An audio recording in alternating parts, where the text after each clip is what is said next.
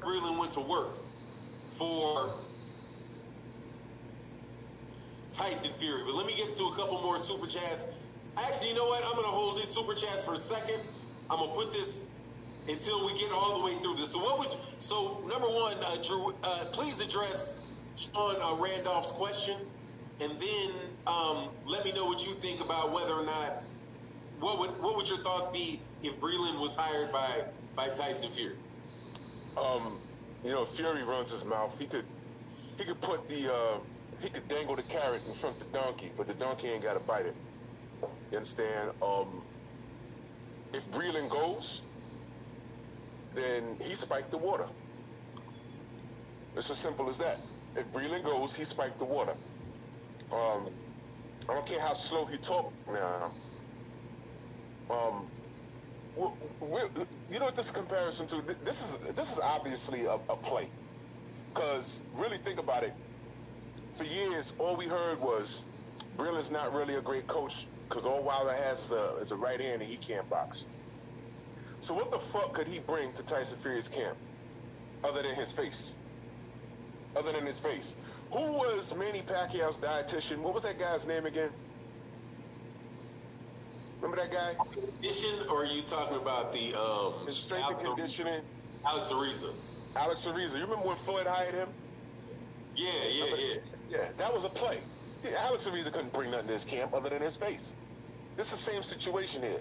So Fury is is pulling well, every rabbit out of the hat. Uh, he could bring things to him. Shit, you don't yeah, even know how much fucking dude. Alex Ariza probably got sparring tapes and shit on um on Manny Pacquiao.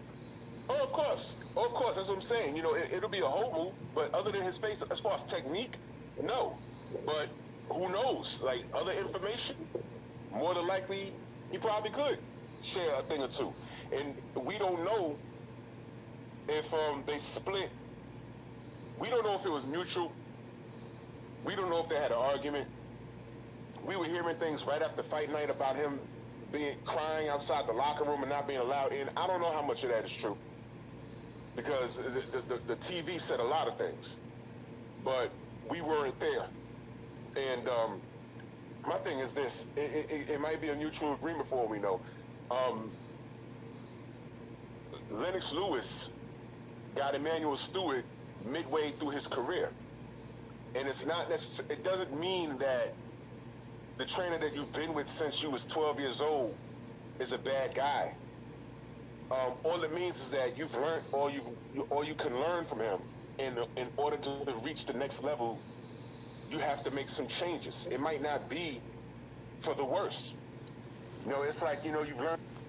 Now, I don't know why Fernand Khan and all these guys going at the um Mark Breland man. Mark Breland was a world champion and an Olympian. He should he should get more respect. He, he deserved more respect from these guys than what he's getting. He was a he was a he was an Olympian and a welterweight champion. Is what he did.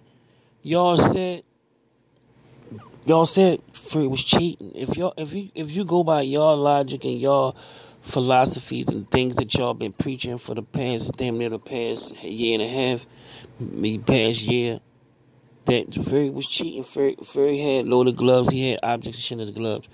So why? So what? Why? Why should um Breland get? Why should Breland? Why should Breland um get get get shitted on for saving Deontay Wilder's life? Because if it wasn't for Mark Breland, it may it won't be a it wouldn't be a third fight. If it wasn't for Mark Breland now I want to tell Fernand Khan this. Is it wasn't for Mark Breland, it wouldn't be a third fight. Deontay Wilder would be dead as it wasn't for Mark Breland. Y'all think about that. Y'all put that in y'all peace pipe and smoke on that for a couple of minutes. And think about that. Fernand Khan, if it wasn't for Mark Breland, Deontay Wilder may have a black suit on and some hard bottoms. Resting for a long time. I believe Mark Breland saved Deontay Wilder life. Deontay Wilder was going to die that night. That was like the seventh, eighth round. If if Wilder would have went in there two more rounds of that beating, it would have got better, worse brain damage.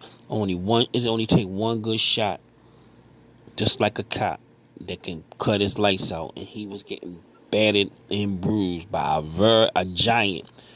Tyson Fury is a giant. A giant was beating his ass. He was getting beat by a giant caveman.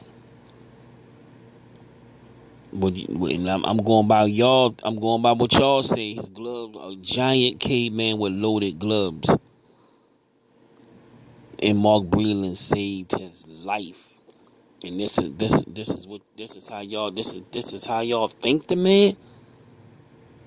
He should be getting praised for saving y'all friend's life. I thought I thought um he was y'all buddy, y'all pal, y'all y'all y'all leader. To this day. What you mean, yo people? Yo people too. Yo people too. He saved this nigga life. And he fired him for saving his life. Fury was breaking his foot off in his ass.